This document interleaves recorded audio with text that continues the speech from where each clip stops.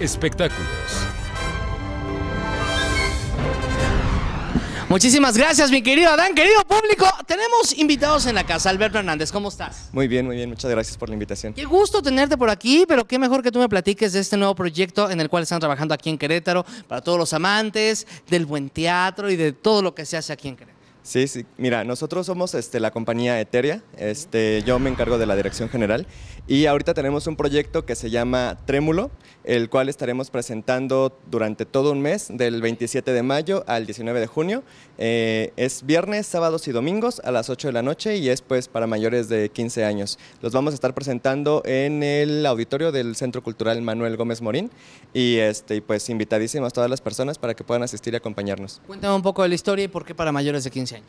Pues mira, es un proyecto que tenemos ya trabajando desde hace un poco más de un año. Eh, la idea es hacer como una pequeña reflexión con el público en la cual nosotros queremos apoyar todo el respeto a la vida y este y pues en todo esto hay ciertos momentos en los que, cuales vamos a mostrar un poco de cosas algo tal vez tensas y por estas razones por la cual es este, para mayores de, de 15 años. El formato es principalmente... Por esta cuestión del criterio. Exacto. ¿No? Para que lo, lo, digieran un poco más. Exacto, sí, para que también no se vayan a sacar mucho de onda. Y no vayan a llegar espantados, ya ves que aquí ni se da, ¿verdad? Que llegan todos persinados y que, ¿cómo crees? Sí, sí, exacto. Entonces, lo que estamos buscando nosotros es brindarle al público experiencias. Este, no es una obra en la cual nosotros nada más llegamos y, este, y vemos lo que pasa sentados y ya. De hecho, ni siquiera el espacio es un teatro tradicional. Entonces, lo que nosotros estamos buscando es que la gente pueda interactuar con el intérprete, con el... Estamos basados principalmente en danza contemporánea,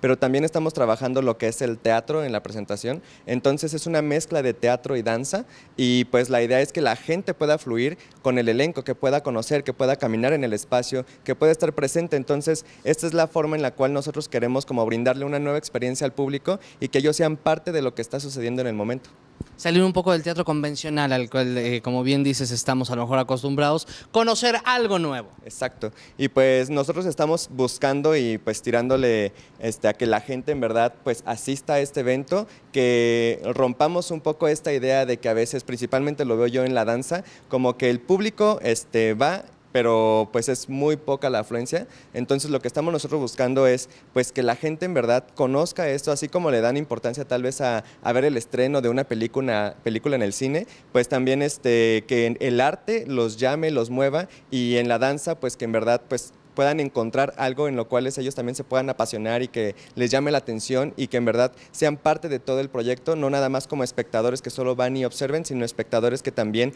puedan intervenir en la propia obra. Oye, pues la verdad está muy interesante. Vuélvenos a recordar el lugar y la hora, Sí que va a ser este, en el auditorio del Centro Cultural Manuel Gómez Morín a las 8 de la noche todos los viernes, sábados y domingos del 27 de mayo al 19 de junio. Ahí en Pastel y Constituyentes, porque luego van a decir, ¿y dónde queda ese? Sí, sí, sí. Y de hecho, cuando lleguen al espacio, el espacio es muy grande, es este, la que es conocida como la Biblioteca Manuel Gómez Morín, por si no la ubican algunos. Y este, cuando entran al espacio, pues es totalmente circular, entonces de repente uno puede pensar que es como medio laberinto. Ahí viene marcada cada entrada con una letra. Nosotros nos encontramos en la entrada del, este, de la letra B en la planta alta. Entonces, cuando la gente entre, pues nada más busque la letra B, planta. sino que pregunten, sino que pregunten, sino para qué tenemos la boca, por Dios. Muy bien, pues te agradezco mucho el que hayas venido aquí a compartir esta, esta, esta buena noticia en el mundo del teatro. Qué bueno que se está haciendo aquí en Querétaro. Hay que decir que Querétaro es el pequeño Broadway en, México. Hay que decirlo Vamos, perfecto, sí, vamos para allá. Es lo que estamos esperando nosotros. mucho éxito. Rompas una pata, que le vaya muy bien. Damas, caballeros, cuídense mucho. Bonita noche, señor Olvera. ¿De aquí a dónde? Yo regreso con usted del otro lado del estudio. Vente por acá, mi hermano. Espectáculos.